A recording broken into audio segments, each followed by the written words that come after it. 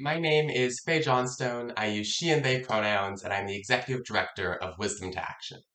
Over the past decade, I've had the honor and pleasure of being a loud and proud voice on trans rights, on 2S LGBTQIA plus rights, and it is my pleasure to have supported the development of this learning opportunity for young students around allyship and gender diversity in Canada.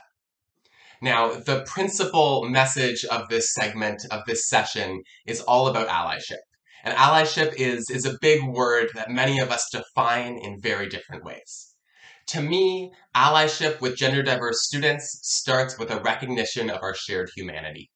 In this world, too often we cast different people as fundamentally different from ourselves, as if we can't understand or relate to them.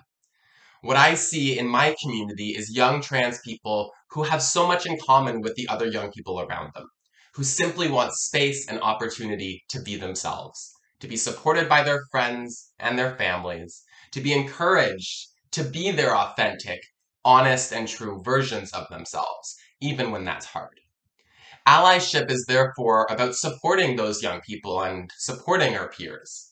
It's about doing the work on our own end to unpack some of the weird lessons and messages that our society throws at us about trans and gender diverse people. It's about recognizing that we have a role and responsibility to support our classmates and our friends, to help them walk in this world in a safer way. And that means correcting people when they share stigmatizing messages. That means walking away when a friend makes an uncomfortable joke.